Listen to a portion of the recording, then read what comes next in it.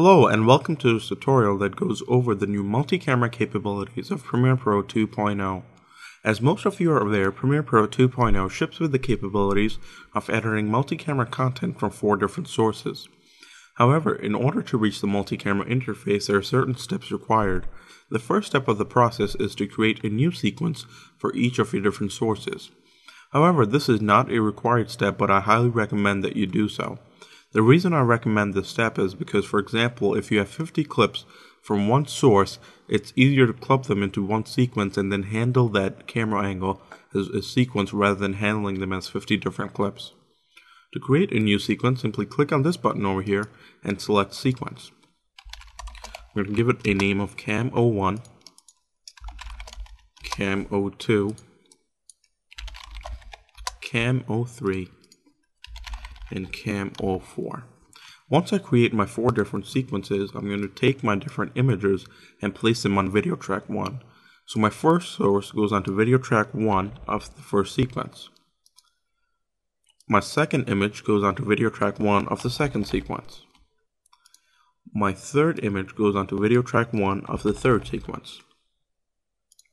My fourth image goes onto video track 1 of the fourth sequence.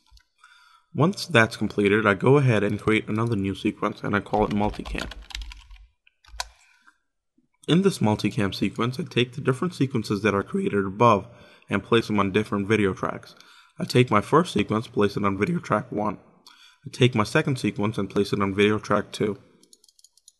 I take my third sequence and place it on video track 3, and repeat the process for the fourth sequence. Once that's complete, I go ahead and create another new sequence.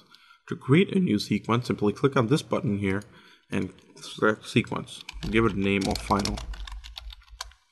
In this final sequence, I take the multicam sequence that I created here and place it on video track 1. As soon as that's completed, I simply right click on this clip over here, go to multi-camera and hit enable. As soon as I do that, you will notice two things. The first thing that you will notice is that the image over here has changed to the image as found on video track 1 of the multicam sequence. The second thing that you will notice is that this clip now has a prefix of MC1. MC1 essentially stands for camera angle 1, but how does Premiere Pro know which camera angle is which sequence? Well, if you go back to the multicam sequence, you will see that video track 1 holds camera angle 1, video track 2 holds camera angle 2, video track 3 holds camera angle 3, and video track 4 holds camera angle 4. Now, if you go back to the final sequence and click on this little file menu here and select multi-camera monitor, as soon as you do that, you will see the multi-camera interface. Now, the left-hand side represents your different sources, and the right-hand side represents your final source, or the final program. To start editing this, simply click on the record button and hit play. As soon as, that, as soon as that's complete, simply click on the images that you want, and once that's complete, I simply close the multi-camera monitor and go back to the timeline. You will see that all the different cuts have made it down to the timeline, and all of these different cuts have different prefixes. MC1 stands for camera angle 1, MC2 for camera angle 2, MC3 for camera angle 3, and MC4 for camera angle 4. Now how do I fine tune these different edits? Well I'm just going to take my razor tool and chop off the first half of this first clip. Now suppose in this area I want camera angle 2, how would I go about doing that? Well to do that simply right click on this, go to multi-camera and hit camera 2.